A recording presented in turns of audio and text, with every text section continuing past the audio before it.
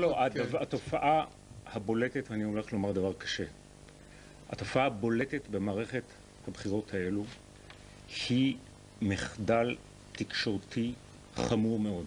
בעיניי הייתה לנו מערכת בחירות שמבחינה דמוקרטית היא מחפירה. עומד על הפרק הצעה של חיים ומוות למדינת ישראל. אם תוכנית אולמרט היא נכונה, היא תציל את מדינת ישראל. אם תוכנית אולמרט היא מסוכנת, היא תסכן את מדינת ישראל קיומית.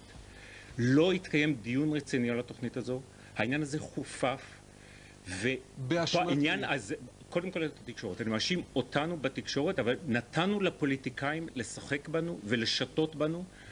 יושב פה ירון, בארצות הברית לא היה עולה על, דעת, על הדעת שנגיע להכרעה דרמטית כזו בלי עימות טלוויזיוני רציני וסדרה של עימותים טלוויזיוניים בין המועמדים, זה שנתנו למצב כזה שאנחנו מגיעים לבחירות בלי עימות, זה פשע שלנו בתקשורת, זה ששיתפנו פעולה עם תרבות הספינים, עם תרבות השטות ועם תוך הטיה ברורה בחלק גדול מאמצעי התקשורת, זה הדבר הדרמטי ביותר שקרה במערכת הבחירות האלו ובעיניי הוא חמור ובעיניי הוא קורא לחשבון נפש עמוק שלנו בתקשורת יום אחרי הבחירות. לאיפה נוטה